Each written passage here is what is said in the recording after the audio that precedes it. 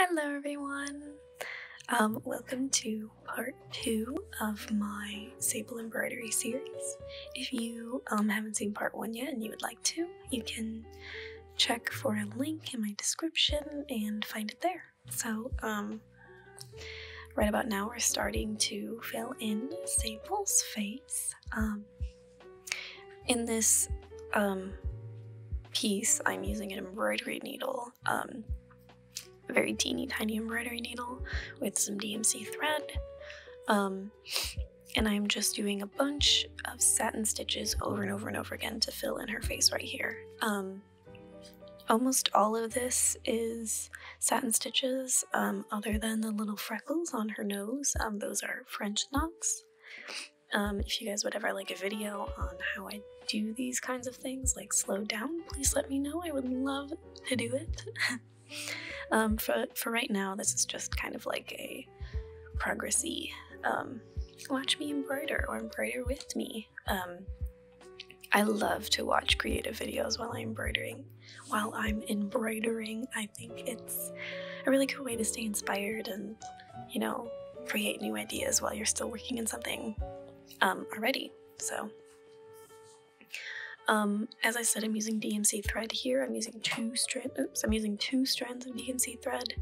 Um, if you are not familiar with embroidery or embroidery floss specifically, um, typically embroidery floss comes in six different strands that are all kind of like wound together in a way. Um, they're not like glued together or anything, so it's really easy to separate them.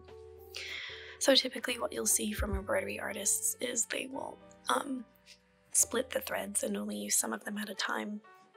So, for instance, instead of all six threads, which would look really thick and bulky, and um, personally, I think a little messy, I'm only using two here. Um, that gives me a lot more range of like um, detail and specificity within what I'm doing. It just makes it a lot easier for me to embroider smaller things. Excuse me, my phone is going off. um, so I'm using two here. So um, hopefully eventually in this video I'll be able to point out when I'm actually separating them. Although this video is being um, sped through, um, maybe you'll catch a glimpse of it at one point. I don't know. So I'm just filling out her face here. Um, as I mentioned in my previous video, um, when I'm doing these types of Animal Crossing embroideries, I typically do the smallest details first, um, on the face especially. So if the character obviously has eyes and a nose and little freckles and things like that, I will do those first, and um, then it allows me to be able to fill it in a little bit easier. I find that if I am to do it in the reverse order, it'll be um, really difficult to kind of like make the smaller details look clean. Um, and sometimes it leaves spaces where I wouldn't want spaces. Um, so that's why, that's how I do it, I suppose. Um, typically when I'm doing my, typically when I'm doing my Animal Crossing embroidery, I start with the small details of the face and then the ears, and then I fill out the face, then I'll do the body, and then I'll do their clothes. I find the clothes are easiest to do last. Not sure why. It just feels right, I suppose. That's just the way I do it. Um, anyway, if you're not familiar with this character, um, this is Sable Able from the Animal Crossing series. Um, she's a little hedgehog and she works um, this clothing shop with her sister Mabel um, which is just really adorable, which is why she's wearing a cute little apron because she's kind of a shopkeep, so good for her, I guess. um, what else was I gonna say? Here I'm working on her ears. Um, and just doing satin stitches kind of like in the diagonal direction from the outside of the ear to the, the bottom part of the ear. Um, I find that doing satin stitches in this way gives the character a little bit more dimension. Um, for the faces and for their bodies, I um, typically do kind of like vertical type stitches, if that makes sense. Um, I feel like this is the best way to show direction in the body. So if the face is tilted a certain way, I can kind of tilt the thread a certain way. Um, so that is how I control kind of like the direction in which my stitches are going. I, have gotten questions about that a few times. Um, so for um, ears, like I discussed in my part one, um, I typically like go all the way around um, in little little loops, I suppose, if you're really thinking about it from like an outside kind of perspective. Um, and that gives it a little more shape. It's all satin stitches, but there's just way more of them than um, there would be if you were just going from top of the hoop to the bottom. Um, so it really depends, but for the most part, it's in a vertical um, fashion um, going up and down. But there are exceptions, of course, like I just said. anyway, what am I doing here? Oh, um, I believe, oh, I just separated the thread if, if you happen to catch that. Um, separating my two strands from the rest. And here I have a little goof up. One of the threads went through, but the other didn't, and then it made this big tangled mess, um, which happens all the time. It is simply name of the game. Um, when this happens, I try my best to kind of like salvage whatever happened um, because I really don't like wasting thread. I'm not sure what it is about it, but it just does not feel right if I am uh, wasting thread. I have a whole little box of thread scraps that I feel like I could still use in the future, which might sound a little crazy, but it's true. I have a big, big box of threads that I think would still be viable to use that are still long enough. Um, and all of them are scraps from previous works that I've done. Um, normally when I reach into that bin, it's to find like a black or a white thread, um, you know, like the simplest 310 black or the, what white do I use? Oh, it's literally Blanc.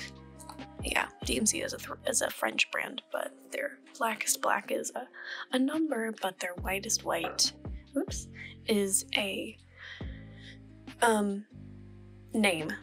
Their pure, like tan, off-white, eggshell kind of color um, is called Ecru, which is actually the color I use on Sable's face here. Um, so it's interesting that, I mean, obviously about 90% of their threads are number-based, but there are a few of them that are name-based and can get a little confusing if you're not on top of it, I suppose.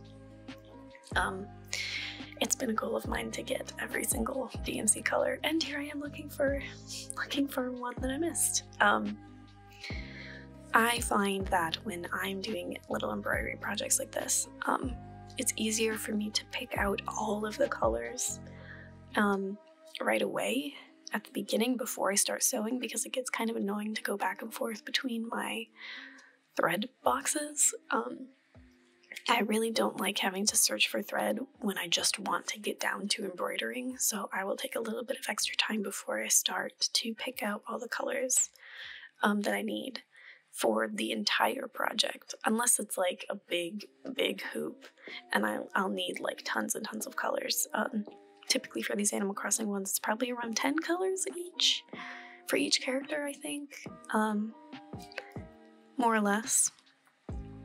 I'm not sure how many I had for this one. Let's see. I have black, white, that little orangey color, the tan of the face, the darker inside ear color, two pinks, and a white. So that's what is that? That's eight. Eight colors. I think that's all of them. Um, so that's not that's not too bad. It's easy for me to pick out eight colors right away and then just get to it. Um, yeah, here I am working on her little checkered apron. That's so cute.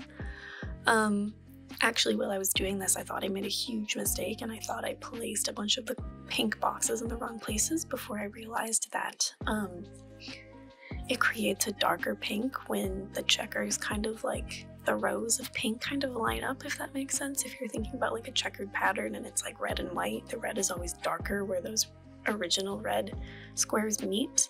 Um, and I didn't really take that into account, and that's why I had to pick another pink color from the box because um, I hadn't picked it, and um, I thought I was gonna have to redo the whole thing, but then I realized that like I kind of knew what I was doing. I just forgot to pick out a darker pink color. So good for me, I suppose. Now I'm working on the white in between the little checkers, um, little boxes. So cute. I just think Animal Crossing is so cute.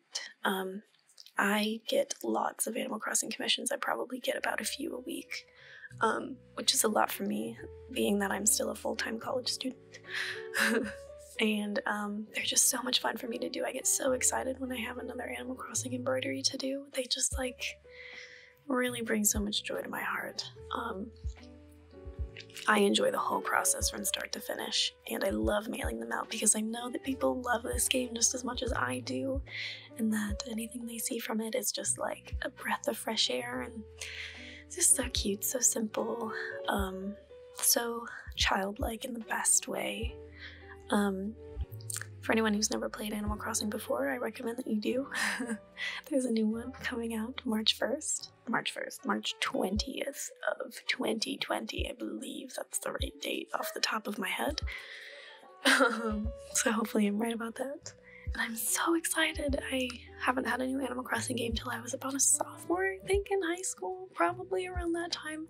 And I still play the most recent one, New Leaf, to this day. Um, not every day, of course, because I have pretty much done everything in the game, but um, it's a really good, calming game that I think is, is good for anyone who just needs a breath of fresh air.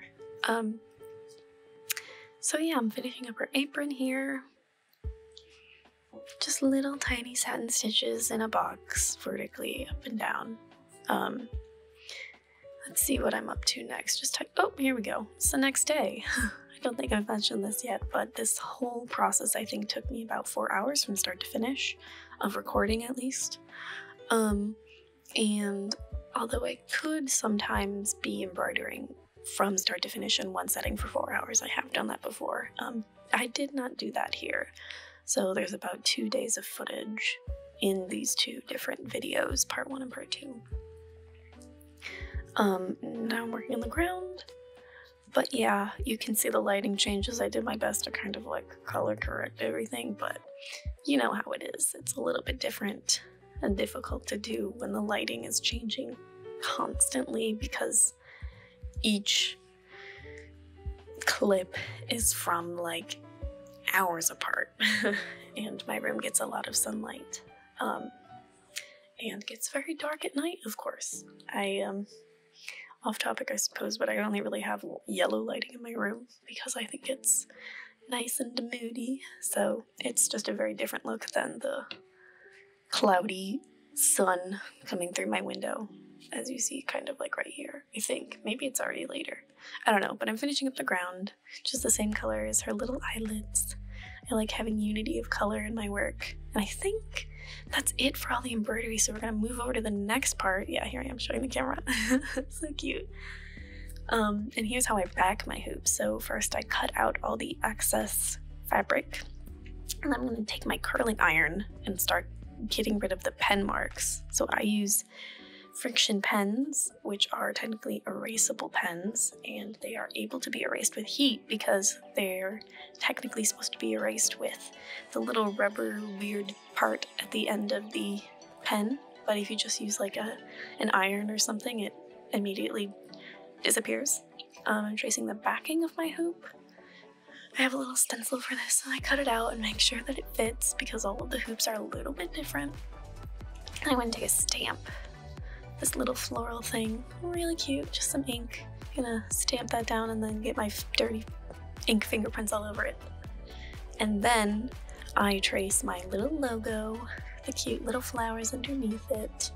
Just think it's so cute, and this is one of my favorite parts. I literally just use my laptop for this. I take a hot glue gun and glue it down, glue all those threads together. And then I start tucking in the edges and it creates this really, really cute little effect once it's all done. But yeah, that's about the end of the video. Thank you so much for watching. If you enjoyed it, leave me a comment, subscribe, check out my um, my Instagram, my Etsy, my Twitter, you know, all that all that jazz. And uh, hopefully I'll see you guys again here soon. I have a Stitches video coming up soon from Animal Crossing, so look forward to that. Alright, bye guys.